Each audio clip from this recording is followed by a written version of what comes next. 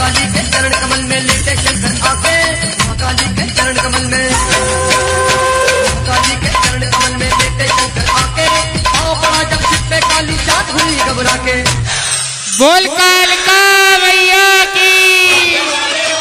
आइए सभी भक्त एक एक करके आएँगे। माँ कालका के दर्शन कर अपने जीवन को धन्य बनाएँगे। सभी भक्तों से अनुरोध है कि बारी बारी आए।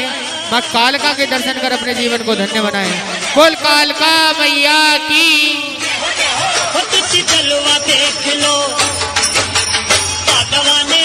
बारी बारी आते रहे। माँ का दर्शन कर अपने जीवन को धन्य बनाते रहे सभी भक्त। जय हो। जय जय माँ कालका। जिए तेरे बालका